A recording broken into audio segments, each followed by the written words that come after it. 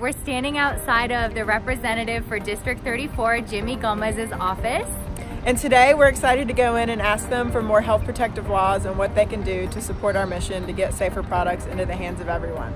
During the meeting, we were able to educate him a bit about the lack of regulation in the cosmetics and personal care industry. There's two really important bills that we're hoping are going to come across the House and the Senate in 2019, and we were able to put this on the radar to make sure that they pay attention to these bills that will advocate for more health protective laws so many people still don't have enough knowledge about the lack of regulation and harmful ingredients that are in their products that they put on their bodies every single day.